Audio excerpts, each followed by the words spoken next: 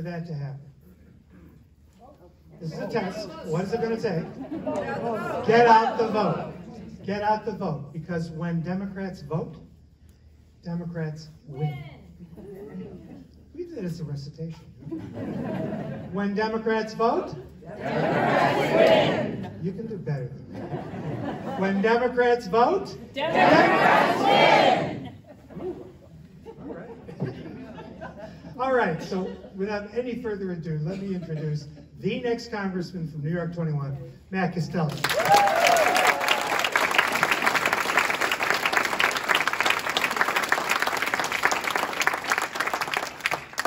Hello, Washington County. Thank you, Alan. Um, as Alan noted, I am Matt Castelli and I'm running for Congress. The only two pieces of information you really need to walk out of here with tonight and retain uh, for the next five weeks, five weeks from today is election day. So the, our time frame's getting close here and we're certainly uh, racing all over the place. And one of the things that we're doing here tonight is something that we're doing in all 15 counties of New York 21. Yes, New York 21 used to be 12 counties. Now it's 15. It got bigger. It's a lot of terrain. It's about a third of New York State. And it's our goal and objective to be everywhere uh, and to be out in the community engaging with folks as we have from the start of our campaign, which was about a year or so ago. And we're doing a town hall in every single county because that's what representation should be. It should be showing up in the community, listening to the concerns of, of voters, hearing about their challenges, the, their hopes, the issues that are top of mind for them, and offering some input, hopefully, on those issues. Now, I'll have to provide an important caveat. I am not yet a member of Congress.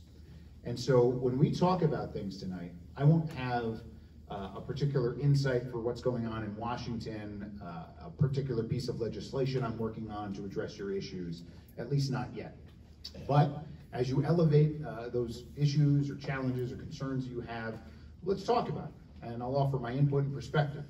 There may be some instances where I don't have an answer to your, your question, and I'm going to acknowledge that, and then I'm going to go work to go get an answer. But what I'll start off by doing is uh, maybe describing a little bit of who I am and why I'm running, because maybe not everyone's had the opportunity to, to learn a little bit about that. And then we'll get into some questions. I will also preserve about 10 minutes or so at the end so if you feel as if you maybe don't want to raise your hand in front of a large group and raise an issue, come meet me one-on-one -on -one, and we can talk about things in that way, okay? So I'm Matt Castelli, running for Congress. I was uh, born and raised in the Hudson Valley, a little bit further south than here, and I went to Siena College, not too far from here. I was born in a bipartisan household. Dad's the Democrat, mom's the Republican. And so maybe it's not too much of a surprise to learn that I was actually an independent for much of my life. my last name, Castelli, means castle. And when my growing up formative years, we didn't talk about politics in our household. It wasn't a matter of division, the Republican versus the Democrat. It was about shared values. And so this name Castelli means castle in Italian it's really about providing a sense of safety, security, and strength. Um, that's something, a shared value that I think I grew up with, and one that I think shaped my sort of upbringing and, and what I would do with my life. So at Siena College, 21 years ago, 9-11 happened. Uh, became a driving force for my career. So I went and I joined the CIA. I spent about 15 years there doing counterterrorism work after 9-11. I led teams hunting down some of the world's most dangerous terrorists. I worked in the same department that found Osama bin Laden. That's the kind of work that I did against comparable level bad guys. I served in places like Afghanistan and Iraq and had enough success doing all of that. Then I was tapped by the Obama White House to come down and serve as the Director for Counterterrorism at the National Security Council. A role I was asked by the Trump administration to stay on it, and I did for the first year of the Trump White House. Because if I learned anything throughout my career of public service, it's this that when it comes to protecting our country, our communities, my family, yours, it requires us to put country before party. And my belief in that has never wavered. Now, I went back to CIA to do some work there for about two more years with cutting edge technology startups, got a business degree out at Northwestern, and then COVID hit. Now, where I came from in the Hudson Valley, it's not too far away from West Point. My grandfather was an Army doctor at West Point. He got out of the Army, he remained a physician, and then he raised a family of nurses. Almost everyone in my family is a nurse, with the exception of my mother. She served in a different way. She became a teacher. But my grandpa instilled within our family a sense of duty. a duty to care.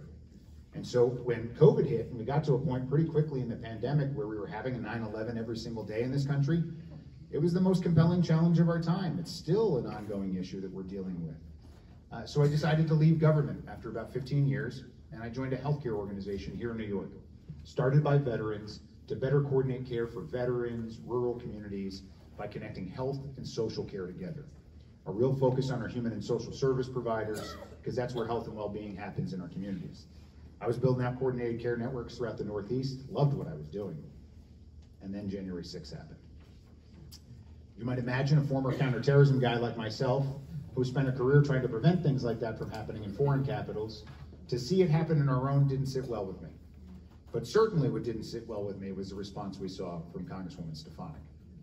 It's her lies that led to the events of that day. She's certainly continuing to embrace those lies uh, she's defending the actions of a violent insurrection to overthrow the will of the people. I think she violated her oath to the Constitution, the same oath that I took when I joined the CIA many years ago. And so, in watching her sell out our country and our democracy, we decided to launch this campaign to run against her.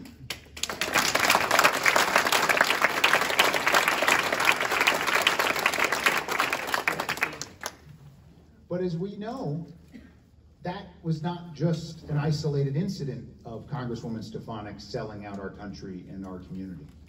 She's consistently sold us out in order to advance her own career and her own interests and our corporate donors.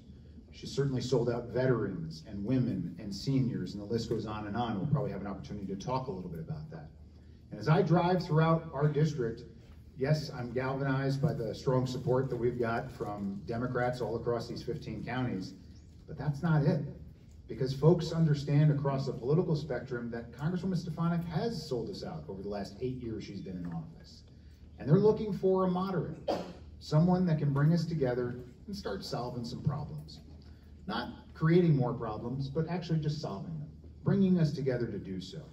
And so some of the things we're focused on in this campaign as a result of the conversations that I've had from folks, you know, I'm gonna fight to reduce costs for working families and make sure that we've got a strong economy that works for everybody. I'm going to fight to defend our freedoms. Most certainly, a woman's right to control her own body and make her own health care decisions.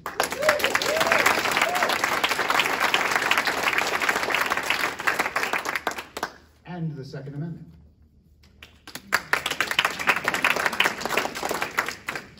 And we're going to fight to make sure that we've all got safety and security.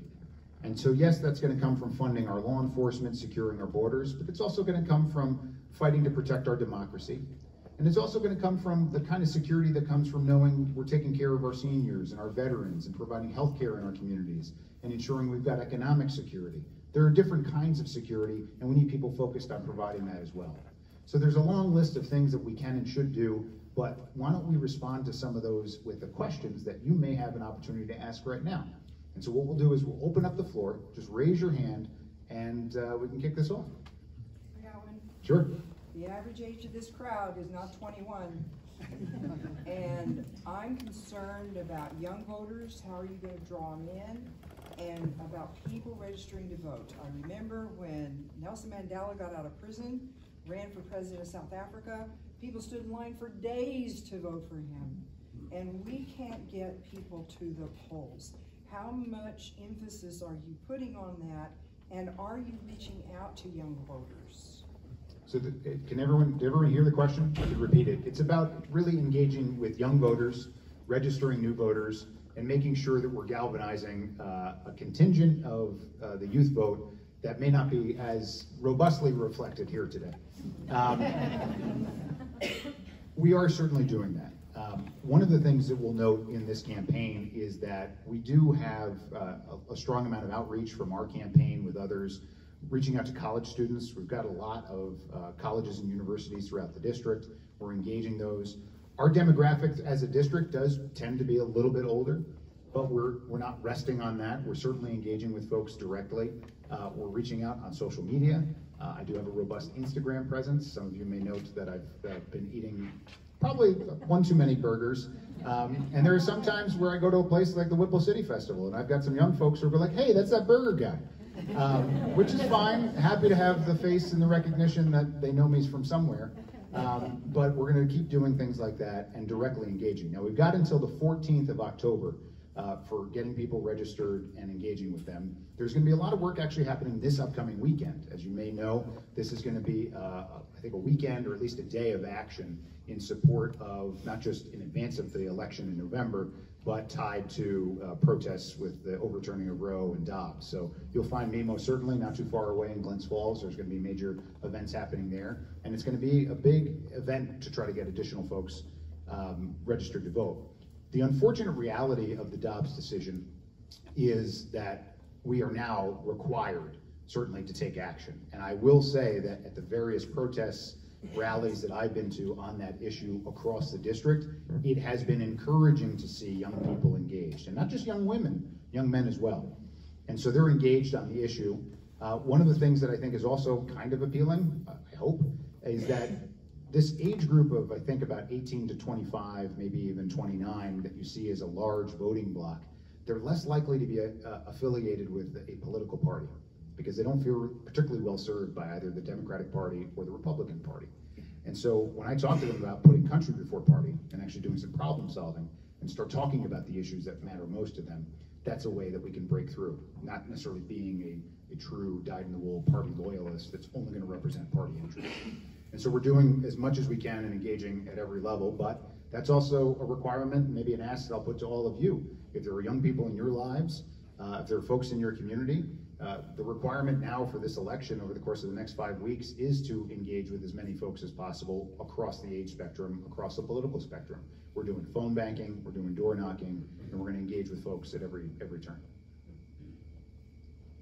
You mentioned um, border security when you were speaking. Do you want to tell us where you are with that? Sure. So the question's about border security, and just sort of my position on this. And I might take a stance that's a little different from other Democrats you may have heard from. I think the border's in trouble. I think you can't watch these images on your television screen and not have a sense of concern about what's happening down there. Why isn't the border secure? Why do we have so many engagements? Now, I lay blame on the leadership of both political parties over the last couple of decades. I don't think anybody's been serious about uh, addressing this issue. I think we've seen leadership from both political parties use border security and comprehensive immigration reform as a weapon for political purposes, and neither have been able to move uh, those initiatives forward. And so, from my perspective, listen, I'm a national security, or at least a former national security guy. Um, having a secure border is critical to our national security. It's critical to our sovereignty. And the American people need to have a sense of confidence that our border is secure.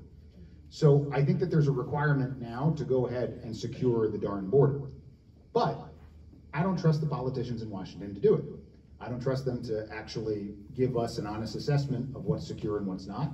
You know, every single election we have, I'm sure it's just a matter of time where we're going to see images on our television screen about a new migrant caravan that's on its way, because they use these things as wedges to sort of fire people up and get them upset. I think we should take it out of Congress's hands and put it into an independent bipartisan commission that can evaluate the true security of the border, identify where there are gaps, and provide recommendations about how to close those gaps so that the American people can have actual confidence in the recommendations that are going to be put forward and then acted upon. Then, and only then, can we actually pursue comprehensive immigration reform. Because that's something we need too. We can't continue to grow, we can't grow our economy without more people here. And as somebody who is the grandson of Italian immigrants, my grandmother came from Sicily into Ellis Island, her name's on the wall there. We need to have secure, confident, humane, uh, streamlined processes by which people can come to the greatest nation of the world in the world. Because that's because listen, people are always going to want to come here. We are the greatest nation in the world. They're going to come here for a variety of reasons. Economic opportunity. We've got wonderful, wide open, beautiful spaces to, to enjoy. People are coming as a result of climate migration and challenges in the southern hemisphere. It's not a question of policies about what's open and what's not. It's a, always going to be an issue if people want to come to the United States of America, we should tell them how to come here legally. And the best way to do that is by having a clearly defined process and a secure border. So I'm going to cut through the noise, I'm going to cut through the partisanship, and we're going to go get it done. Much of the border security is push rather than pull, meaning people fleeing uh, economic problems, uh, personal security problems, and would we be better off doing something to try and help out those places that people are fleeing from? Yeah, it's a good question. It's, it's, ultimately, his question is around where people are fleeing, whether it's the southern hemisphere or elsewhere. Um, is it addressing the root cause of the challenges there that are causing them to leave? I think that there's probably a little bit of work to be done there, but at the end of the day, our primary responsibility is to make sure that we can protect our own borders and our own sovereignty and give people a, a pathway. There are some things that we always should be doing in trying to reduce particularly, you know, advancing democracy and, you know, uh, pursuing um, our ideals across the world, humanitarian basis and humanitarian aid, uh, boosting uh, economic, mutually beneficial economic positions that we could do there. The climate is a key challenge. You know, some of the places in the southern hemisphere are becoming uninhabitable, and so we're going to have to address those issues, not just for the southern hemisphere, but for the rest of us as well. And so there are things that we need to do that will have cascading effects in that region. But I think our primary focus and attention has to be sort of securing things here at home. Um, this is a question about social security. One of the, um, besides voting against reasonable, you know, and trying to get rid of it, you know, we all read the, the, the actuarial tables of, know, if it's not refunded, um, if additional funds don't come in by you know, twenty thirty-five, it's gonna be, I know, eighty percent revenue. And I, I suspect a lot of people in this room are like me, we're not impoverished, but we do depend on our social security. There have been various suggestions about how to fund it, including, I think the top income bracket is a hundred thousand or a hundred and fifty, ten or something. Yeah. How, how would you address that? Because it, it seems to me that's a critical, it's critical and it's something that the Republicans have actually demonstrably sort of undermined. Yep. Um, and it's one of the social programs like Medicare, uh, that's absolutely critical, not just to this demographic, but to other, you know, Yeah. to future demographics too. Right. Uh, I'm paying into a system, or at least, I mean, when I was earning an income. Right now, I'm technically just a volunteer for this campaign. um, but I have paid into a system, and those are earned benefits, not just for me, but for everyone else here, right? You paid into a system that you expect to be there for you when you retire, and when you need it. My parents are both seniors. They both are on Social Security and Medicare. And so this is a personal issue to me. I want to make sure that their entitlements that they have earned are available to them. And I have to say, I don't trust my parents' Social Security and Medicare. I don't trust Elise Stefanik with my parents' Social Security and Medicare. I don't trust your Social Security and Medicare with Elise Stefanik, right? Um, because, in no small part, yes, you see these proposals being discussed by some of our allies, like Rick Scott, who want to sunset these programs in five years. Um, Stefanik was the architect about gutting both programs a couple years back. Um, so this is a real issue, and there's been no, I think, offering of solutions on the other side. There are also some real concerns that I have about just fiscal responsibility overall. We can't keep spending as a nation as much as we are and taking on as much debt as we are, because over time, the interest on that debt that we're gonna have to pay out will impact these But programs. we've reduced the deficit. We certainly have. We've done so in this, you know, past year and a half or so, but there's a lot there and it continues to grow and there's work to be done there. But you offer a, a, a- point, and then I'll, I'll comment on, um, you know, solvency for Social Security. You know, how do we make sure that we're protecting the benefits that we currently have, if not adding to them? And the only way to do that is with additional sort of resources. And so antiquated formulas that have, you know, a cap on, uh, tax income at whatever it might be, a hundred, hundred and twenty-five thousand or whatever it may be. 125. That seems like a, a solution worth exploring is how do we increase that cap? That right now, you know, that was probably set at a period of time where that was maybe a very high earner. That might now be a little bit more of a middle income uh, earner. And so how do we make sure that everybody's paying their fair share into a certain system and that those wages we're actually paying into the system for them as well? You know, it's an earned benefit. And so I think that there's an opportunity there to, to look at the over, uh, the, the over the horizon long-term solvency, certainly of Social Security and Medicare. But that's something we're always gonna fight to protect, are those benefits, if not adding to them. Hi, thank you. You know, as a teacher who, uh, with my students, uh, saw the World Trade Center come down, um, looking over Lower Manhattan, uh, and going to a lot of funerals, I just wanna thank you very much for your service, that you made that, uh, decision to devote a large portion of your life um, protecting our country from terrorism, and it's real. Um, I just really want to thank you for that. And um, we just had another 9/11. I mean, what happened in uh, Fort Martin in Florida is another 9 and mass casualties, huge economic impact, the whole city gone. How do you plan to, or I'm assuming, promote en- environmental policies, convincing people here may think they're immune to that because we're not on the coast. I mean, we all know Irene packed the wall, you know, so we're not immune. We're not immune to drought.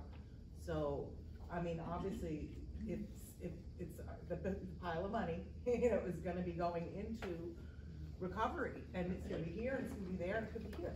So how do you plan to address it? And I have one other question. Did you ask Elise Stefanik for a, a debate? Yeah.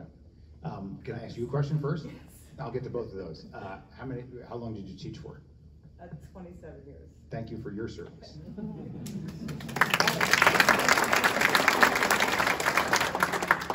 So on the, the latter point about debates, we've agreed to four, she's agreed to none. A deadline has come and gone by which for her to provide input so that they could schedule these things. So as it stands right now, there will be no debates. Um, which is really, you know, yes, I'd love the opportunity to debate, but you deserve to hear from her. You deserve to hold her accountable and answer for her record of failure. Um, not to be pejorative and, and assign it, but you know, how often has she done a town hall in Washington County? Um, years. We know that she doesn't show up and talk directly with voters and constituents. She, we know that she doesn't talk with the press. We know that she doesn't now want to debate. And so she's pulled up behind high walls in Washington, D.C., uh, focused on her career. And as it stands right now, we may not have an opportunity to, to have a debate and an airing of the different kinds of ideas that she has potentially for at least her career. I've got some ideas for our future. And we should have a representative that's in- invested and focused on that. We're going to continue to try to seek other opportunities to make sure we're engaging um, with the media to get our message out there, but we'll enlist the support of all of you all to continue to promote that. On your first question about the devastation that's now just occurred in Florida and uh, what we've seen far too often now, these extreme weather events that wreak tremendous havoc. I was looking at the numbers just from last year, and it was a record year where we spent $150 billion on disaster recovery. Um, you know, we, we've always had hurricanes on the East Coast, and they're getting more and more aggressive and seeking, you know, terrible devastation. The West Coast is on fire, and it's drying up. Um, we can't afford not to address climate change. If you look at those costs, you can't say that it's not worth our investment to take on the long-term challenges of addressing these extreme weather patterns and events through addressing climate change. But in addition to that, there's a lot of opportunity for us. Certainly, we want to protect our local economy from adverse weather conditions because it may not take an Irene to have an impact on our tourism industry in the Adirondacks.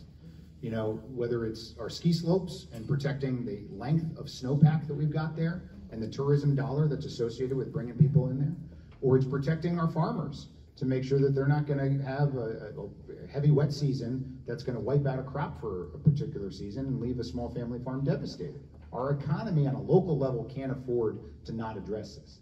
But we also have a tremendous opportunity because this is the economic opportunity of this century to make the kinds of investments in green technology um, that would be useful, not just for combating climate change, to tap into the wonderful and abundant natural resources that we've got throughout much of northern New York. Wide open spaces, some wind, we've got hydro uh, places that we could be you know, pursuing for hydro energy. And so there are tremendous job opportunities, economic growth. We can be the engine of the green economy, not just for New York State, but maybe even the Northeast. But I'll also caveat, if we're gonna be generating a lot of power, we should benefit from that. Our, if it's gonna be coming from our local economy, we should disproportionately advantaged from the cost savings in our own power, our own energy, our own electricity. Um, in some instances, when you set those up, we don't want to make sure, we don't want to see a scenario where New York City is somehow benefiting from our hard work in our backyard. So we want, they can, but we want to make sure that we benefit from it uh, more so. So there's a lot there, but there are tremendous opportunities that we can't avoid not to take advantage of. In your opening remarks, you commented about safeguarding the Second Amendment. Could you elaborate a little bit about what you are prepared to support amid all the gun violence that pervades every day? Yeah. So the question is really around uh, gun safety, gun responsibility, uh, amid the challenges we now have with rising gun violence. And that's the, the key point there is a recognition that we are at a moment where there's an epidemic of gun violence. The statistics are terrible. Gun violence is the number one cause of death of our children in this country right now. That's a real problem. And it's one that requires us all to engage and take action. I can be a gun owner, which I am, a strong supporter of the Second Amendment, which I am, and also seek some sort of safety and uh, care for our kids in our communities from rising rates of gun violence. And I think that there is a consensus and a coalition that can be built and has maybe already been built, particularly in, the, in recent months after these terrible events down in Uvalde, Texas, and, and massacres in, in schools, that those of us can come together and focus on common sense solutions around keeping any firearm out of the hands of someone that's going to do themselves or others harm. That's around common sense universal background checks or making sure our law enforcement have the tools that if someone is an identified threat in their community, that they don't have the weaponry to actually present such a harm in their community. Those are the kinds of things that we can all agree on. And you'll find a lot of agreement among those of us who are gun owners and strong supporters of the Second Amendment. That sounds reasonable. Because guess what? I, I don't want cop killers to have the weapons to do harm. I don't want kid killers to have the weapons to do harm. But the challenge here from my opponent is that she has not offered any reasonable solution to reduce gun violence. And unfortunately, she's married to a member of the gun lobby. And she's working overtime to make sure that every cop killer, kid killer, domestic abuser, terrorist has unfettered access to whatever weapon they choose.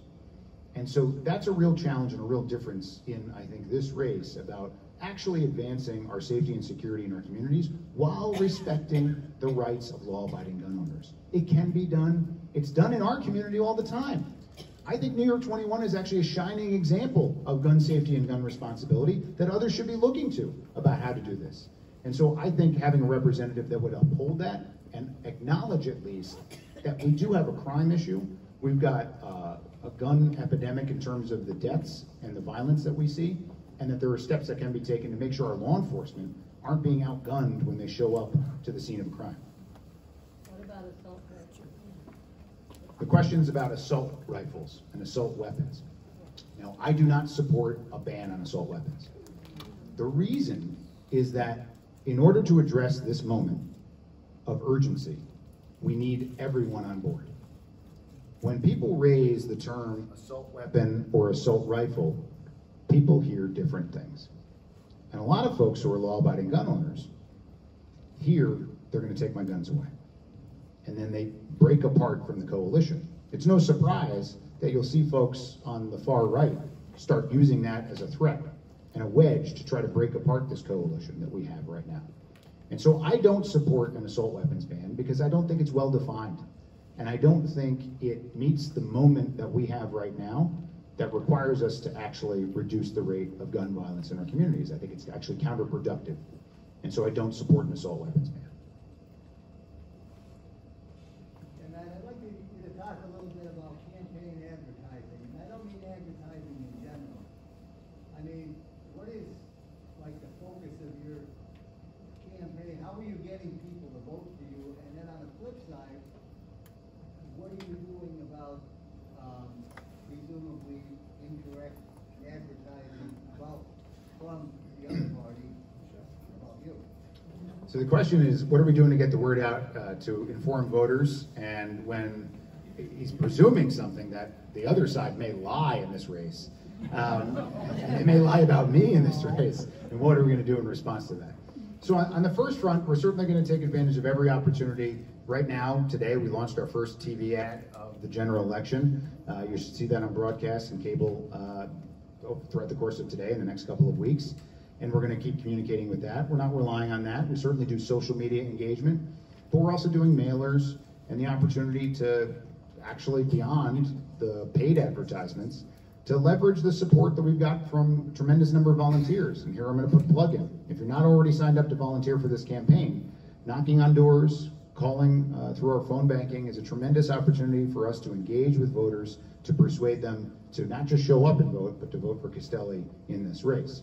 Uh, so go to our website, castelliforcongress.com. There's a volunteer tab, sign up there.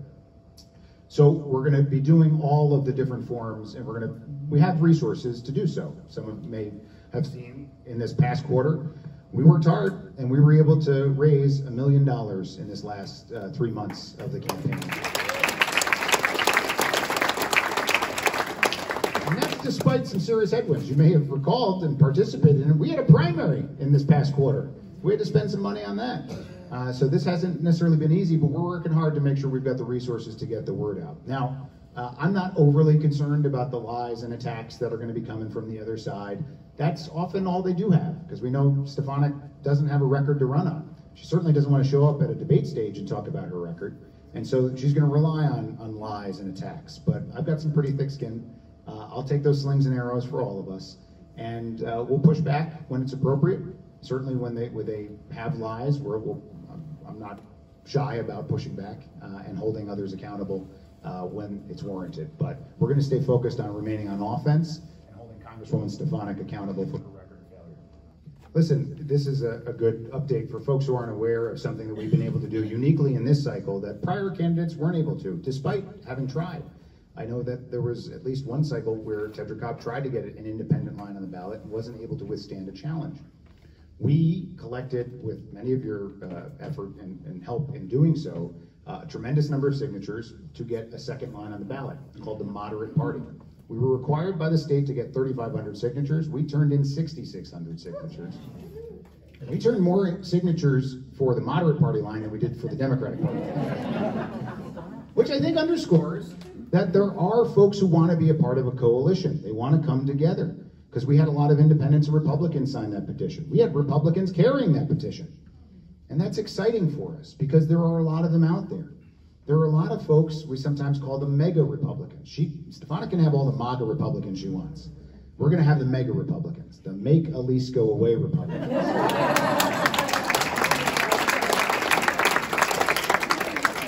and there are a lot of folks right now that are feeling a sense of political homelessness.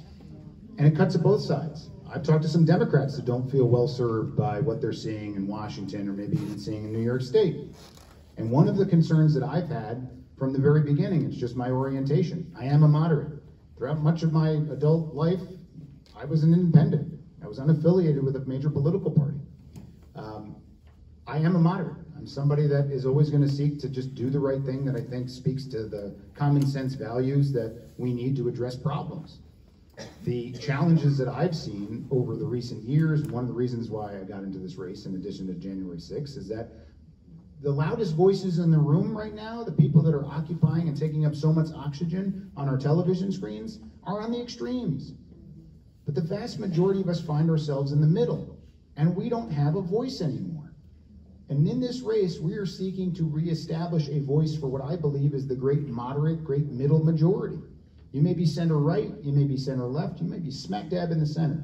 But there are, there are more of us in the middle than there are on the extremes. And we have an opportunity in this race through the coalition that we're building and using this vehicle of the moderate party line to create a space for those independents or Republicans that might not be able to bring themselves to vote for a Democrat. They can vote for us there. And we know that that's a good practice that other uh, Democrats, even in uh, New York 21 and in the North Country, have actually utilized to great effect. So we have that as not just a tool to build a coalition, but the messaging around it. And it's not just a coalition to win an election. It's a coalition to govern more effectively. Because the only way we're going to get anything done in this country is by coming together and actually focusing on the problems and solving them, not the distractions and dividing.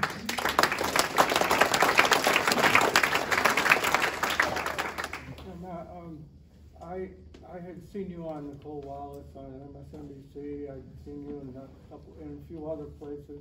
But then, uh, I went to the last thing you had up in Fort Edward, and then I was saying to my wife, well, I don't know if he's really out there getting around to different places or whatever. And she said, well, you know, why don't you go on the internet? Matt Castelli for Congress. I went on there and you have been all over the. So that's what I'd say to other people here and to tell other people, get on and take a look at what he's been doing, see what's going on. Thank you for noticing. I appreciate it. the 55,000 miles of my truck I appreciate you noticing. Um, yeah, listen, in addition to doing town halls, we're just showing up in every single community and engaging with folks. And it may be in a room full of 100 and however many uh, people we have here today, or it could be, you know, two folks in a coffee shop, or stopping by, uh, you know, a farmer's market and uh, chatting with folks. And one of the exciting things about me, well, yes, you may call one person and they may not have heard of me. Well, we were in Keene this past weekend, and I just showed up. Like I just had stepped into the farmers market in the, in the Keene Valley, and people started to come over to me, recognized my face, and they were so excited to know that I was running. Um, it was a couple of weeks ago when we had the primary. I was cutting across Washington and Warren County. I was stopping off and chatting with some folks at the different polling locations, and I stopped into a Stewart's to go get a drink. And I got stopped by a gentleman, and he said, Hey, good luck today. I'd never seen this person before in my life. He said, Good luck today. It was a primary day. He's like, I can't vote for you because I'm a Republican. But I'm voting for you in November, and all of my Republican friends are voting for you.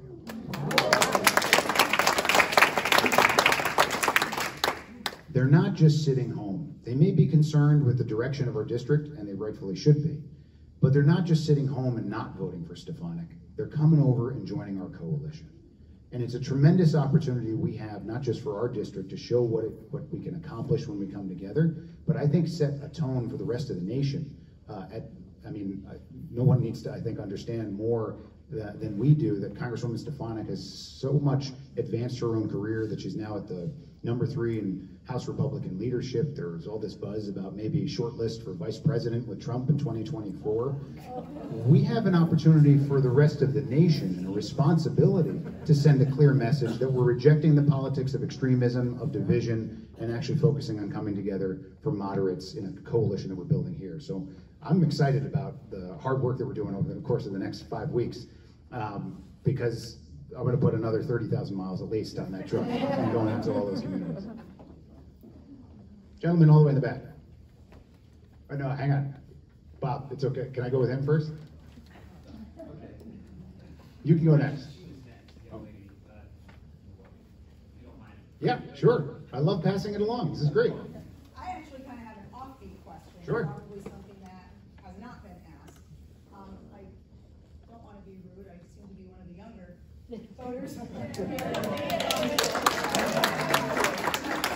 Is, it's really more about, um, racism. And I, I wrote this out, that's the teacher in me. So I want to know where you would stand, like, do you support removal of Native American mascots from schools? What would you do if you were elected to ensure that they stay or they don't stay? And are you in a position, um, or would you, if in a position, um, would you introduce a bill that halts funding? We hear we're gonna stop funding for this, we're gonna stop funding for that. And I'm just trying to get a feel for where you stand on this. You know, would you be, um, someone who is gonna be looking to actually stop funding if schools kind of keep, um, going forward with what a lot of people would considering to be racist mascots, names, logos.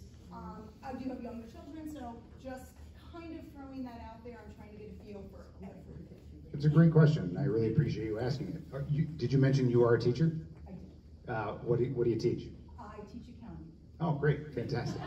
Um, you're much smarter than I am. Um, so I think it's an important one. And I, from my perspective, listen, I'm applying for a job at the federal level.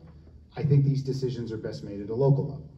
And so I don't necessarily know it's the federal government's role or responsibility to be prejudging uh, what kinds of things are culturally appropriate and what's not within a community.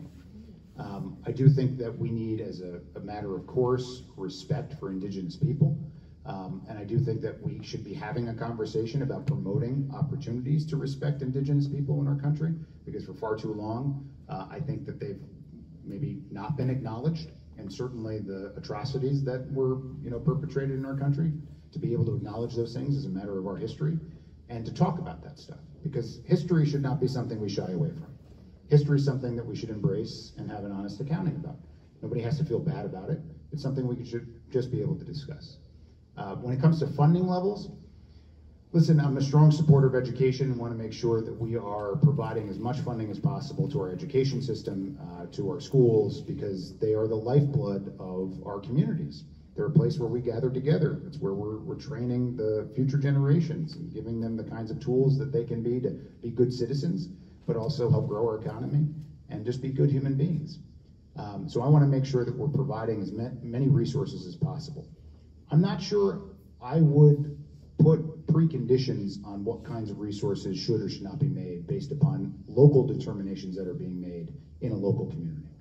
Um, so in response to that specific example, I'm not sure that I would, as a federal legislator, say, because I don't know if it exists, and I don't necessarily also know whether we should be creating boogeymen um, to then, that would ultimately hurt our local communities and our kids uh, by attaching some perception of a boogeyman that would preclude access to federal funds to help our education system.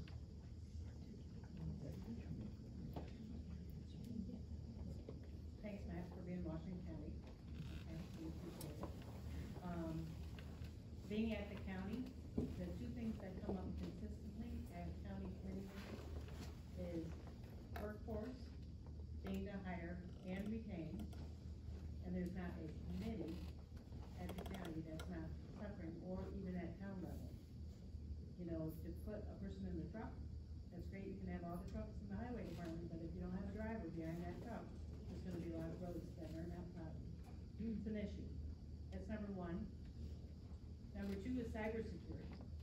Whether it's my mom calling me during a committee meeting saying, I just got a call that, you know, a grandson's in jail and yeah, I need to bail him out. Should I have done it? Or, but then I realized they called me grandmom and all my grandkids call me mum mum. So I hung up on them. Good job, mom. There's probably not a person in this room that hasn't gotten that phone call. Okay, but nothing's done about it. It's affecting our elderly population. It's affecting our municipal town halls. Um, we had a town clerk that bought gift cards. Thankfully, we shut everything down. We were able to, to, you know, retain and not have, um, money stolen. She lost some money on the gift cards, but it's happening everywhere. And the cybersecurity is, you talked about it, and then I just got a quote for our twenty twenty-three budget that we don't have that line item for. It's close to fifty thousand dollars in the small town budget.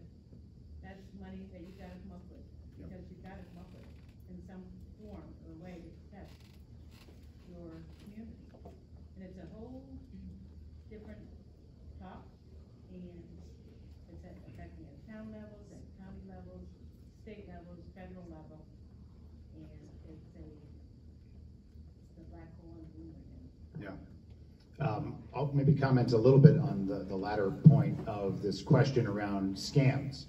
And maybe folks here have received phone calls or gotten an email or click on this, whatever it may be. I certainly get, um, my, my own parents, uh, are targets of, of these things, and I have to advise my father, do not click on that, don't, don't open that thing, whatever it may be. Um, but it's a real problem, and it's one that is targeting intentionally our seniors. Uh, I think, if I'm not mistaken, Senator Gillibrand introduced and has tried to put forward some sort of legislation to make sure that we're uh, going after this problem. But it's certainly one that needs to be addressed in, in equipping, I think, our law enforcement, uh, who are already overworked and undermanned, uh, with the tools necessary to helpfully go after some of these folks to preclude them from taking such action.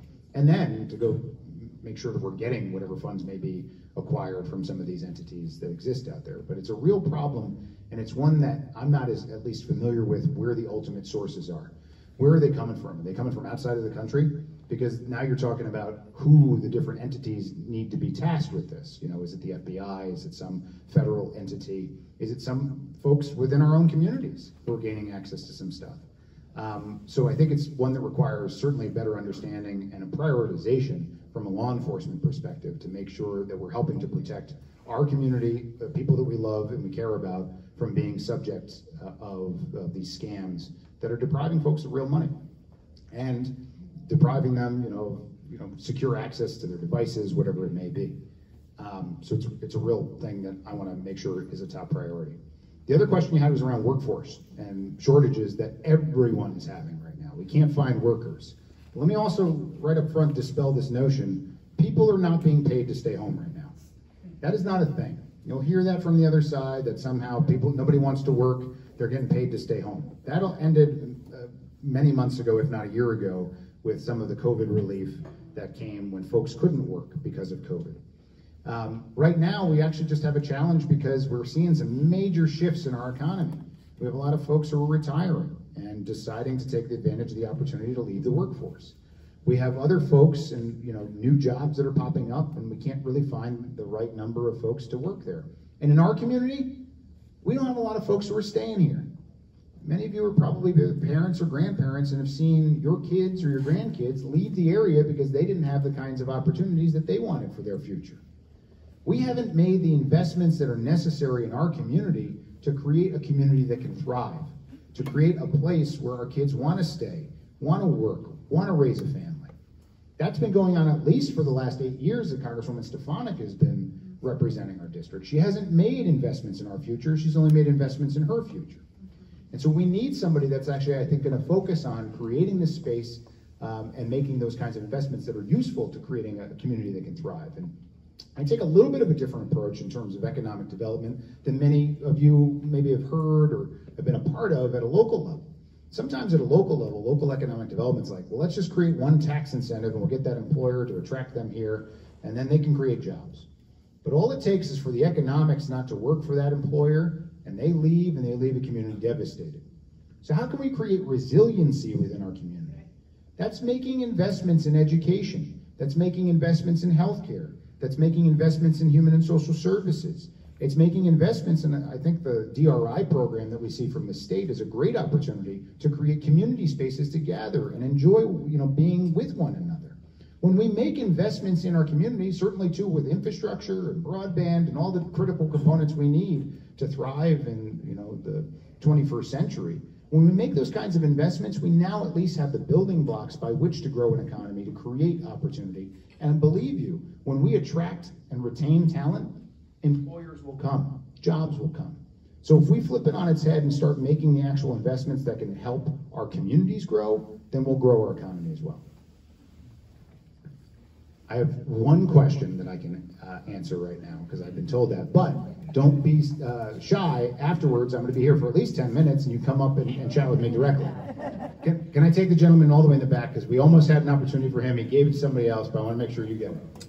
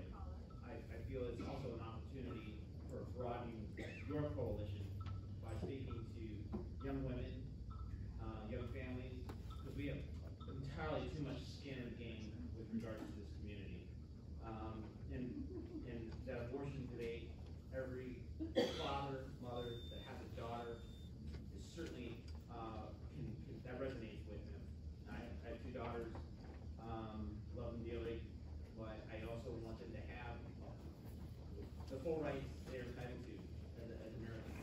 I want to know where you stand in that especially that issue, I got here late, I apologize. Um, where you stand on that issue and whether or not your campaign sees that as an opportunity to speak to young women, young families. Thank you. Because, uh, before we touched on it, but I didn't have the opportunity to dive into it a little bit deeper, so thank you for presenting that. And I do, I don't want to sound cynical and phrase it as an opportunity. It's a necessity. Because right now, certainly in the aftermath of the Dobbs decision, millions of American women are currently under threat across this nation because they don't have uh, control over their own bodies and their own healthcare decisions. That's a serious challenge that can only be addressed at the federal level. It requires, and this is something some folks have asked me a question, what's the first thing I want to work on when I'm in Congress? Day one, codifying a woman's right to choose in federal law and doing it at the federal level.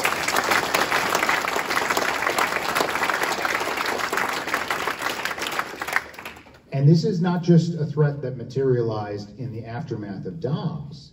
It's now taken a step further. Many people saw on the news Lindsey Graham put forward this national abortion ban.